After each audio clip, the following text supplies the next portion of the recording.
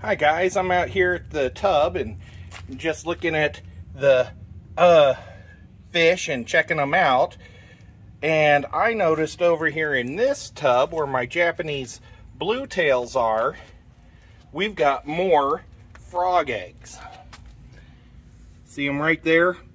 And uh, last time I, I didn't show, here's some more underneath. I didn't show how I pull them out. So this time I've asked my dad to hang on to the camera and I'm going to show you how easy it is to get rid of these guys. So I've got a whole bunch of these eggs right here and I'm just going to take a specimen container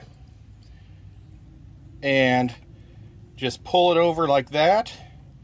And then I'm always checking to see if I got any fry in there. I don't, but I've got a whole mess of eggs. And so now I'm going to take the eggs and I'm just going to dump them into my five gallon bucket. And I'm going to just keep going through. Here's some more. And the, the water just pulls them right in. So it's super easy. The trick is just finding them all over. Here we got a whole mess of them right in here. So now I got a whole tub of them Here's a pile right here next to this water hyacinth. I just scoop it out.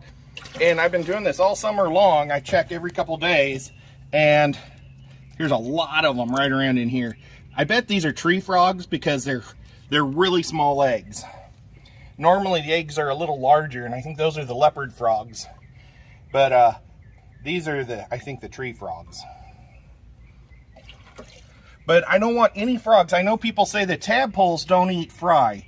But once they get their legs, they start going carnivorous and they will eat your fry. So what I'm going to do is I'm putting them all in this five gallon bucket and then I'm going to give them to my sister and she can dump them in her little uh, pond on her property. And either her bigger fish can eat it or they'll just grow up and be part of the system.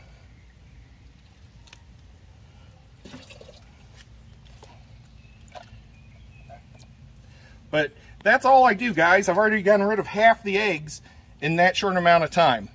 So we'll talk to you in the next one.